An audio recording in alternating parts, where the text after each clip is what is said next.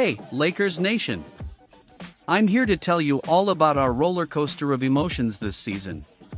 From injuries to players' recovery, it's been a real game of ups and downs for us.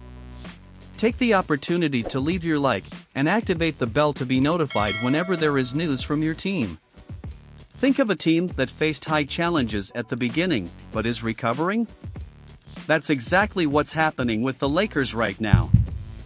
Jarred Vanderbilt, Rui Hachimura, and Cam Reddish are back in the game, with only our beloved Gabe Vincent remaining on the injured list.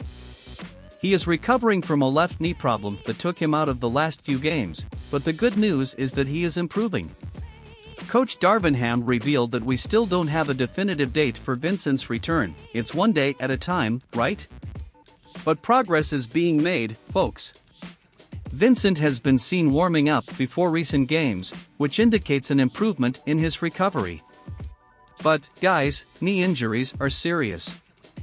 You can't rush the return, otherwise, it will make things more complicated. And the Lakers are keeping an eye on the big picture, they will only release the guy when he is 100% recovered. It's total precaution.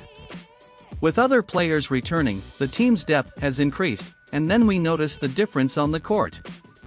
But we lack that defensive point guard, someone who can hit the decisive shots, which was exactly what we expected from Vincent. Remember that he came last season on a million dollar contract? Well, so far we haven't seen much of this investment, but the hope is that it shines in the playoffs. After all, Vincent has already shown his value at this stage of the game, and the fans are looking forward to seeing him in action in April and May. And that's it, Lakers Nation.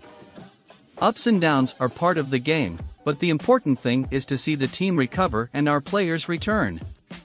Let's continue to support each step of this journey. Who knows what's coming, right? So, don't leave here, because the season holds a lot of emotions for us.